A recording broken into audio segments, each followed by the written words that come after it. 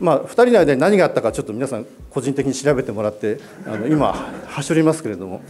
またブーってなりまして。清水美智子さんが受賞した時に一番それを感じました。三谷さんと本当に濃密な時間を過ごしました。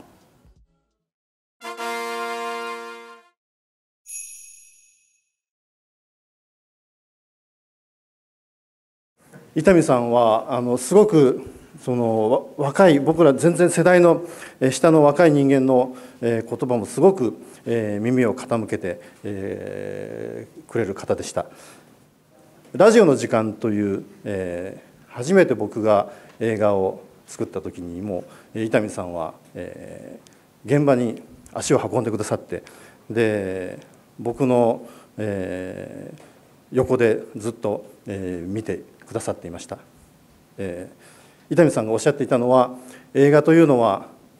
スクリーンに映っているものが全てなんだと。だから君はずっとモニターだけを見ていなさい、えー、そういうふうに伊丹さんは教えてくださいました。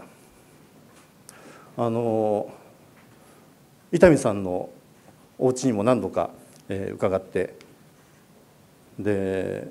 まだ完成していない、えー、伊丹さんの映画をえー、まだ荒編集の状態だったんですが、えー、見せていただいてで感想を言いなさいっていうふうに言われて、まあ、そう言えるもんじゃないんですけれども、まあ、あの思ったことを、えー、話しました。本当に天さんはあの人の話をとてもよく聞いてくださる方だったなというふうに、えー、思います。それから、えー、月日が経って大河ドラマの「光明が辻」という作品があったんですが、えー、僕は足利尊氏の役で、えー、出演しております。で大石静香さんが本を書かれて大石さんのあの推薦だったんですけれどもなんで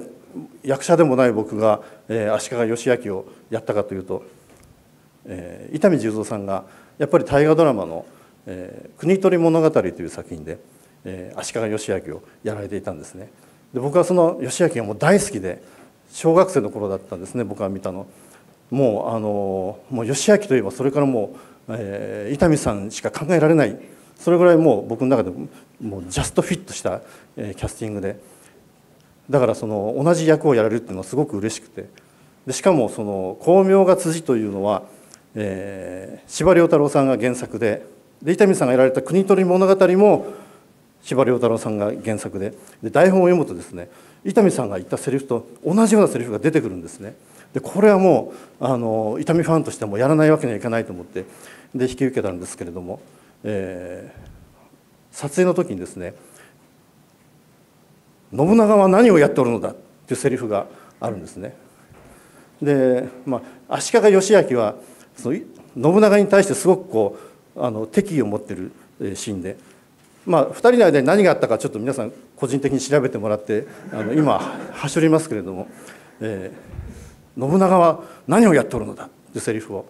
えー、僕は言ったんですけども、えー、本番で NG が出ましてでプロデューサーがやってきて「えー、三谷さん今あの信長は?」っておっしゃいましたけども「信長は?」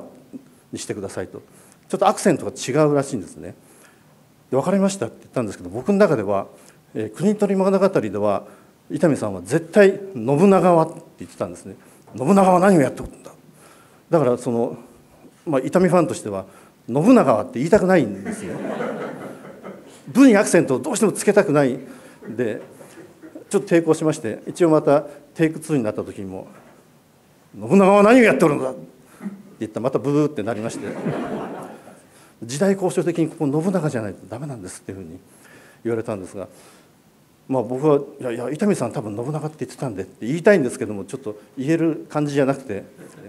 でもあのテイク3になった時にまたあの「信長は何をやっとるんだ」って言ったらまたブーってなりまして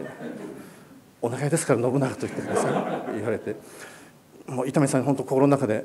「ごめんなさい」って謝りつつ、えー心では信長と言いながら信長というすごいあの難しいあの手法を取りまして、えー、その場を切り抜けたというのを覚えております。僕は伊丹さんが、えー、大好きです。だから、えー、伊丹さんの名前のついたこの賞を、えー、いただけて本当に嬉しいです。ありがとうございます。今僕はあの4年ぶりの映画を、えー、撮っています、えー、現場ではモニターを見てそこから目を離さないようにしています。若いスタッフには、えー、必ず耳を傾けるようにしています。伊丹さんどうもありがとうございました。三谷さんありがとうございました。続きまして宮本館長からご挨拶申し上げます。もう昔々の話なんですけど伊丹さんはある時期三谷さんと本当に濃密な時間を過ごしました。若くて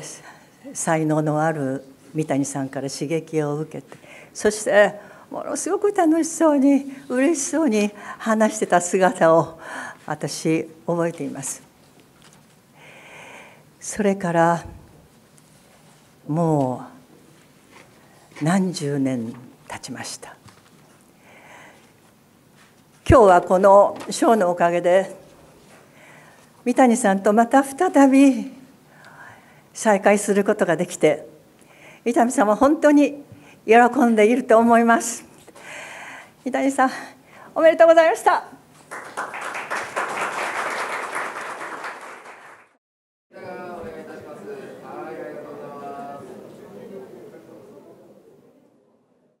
受賞おめでとうございます。週刊新潮の森山と申します。はい、えー、一問あの質問ございます。はい、あの数ある伊丹十三監督の作品の中で、あの一番お好きなあの作品というのはどういうものでございましょうか？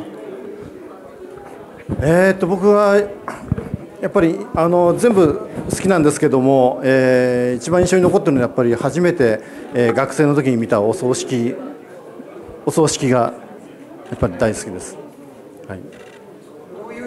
もう少しあの理由を教えていただけますでしょうか？どういうところ。えー、っと僕あの映画がもともと大好きなんですけども、えー、初めてお葬式を見た時にそのおお葬葬儀を描くだけでこんなに面白い作品ができるのかっていうのをびっくりしましたしただ面白いだけじゃなくて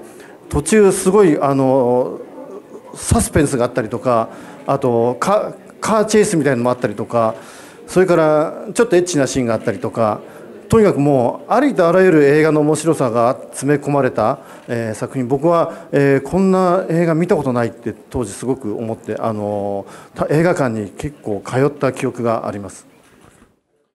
えーと、伊丹十三十三賞を、はい、というのは三谷さんにとってどのような賞にななりますか？正直に言うと、えー、毎年伊丹賞が発表になった時に割と僕の知ってる人が受賞することが多かったんでなんで僕じゃないんだろうって思います。ちょっとだけありましたね。清水美智子さんが受賞した時に一番それを感じましただからあのやっといただけたという感じがしております。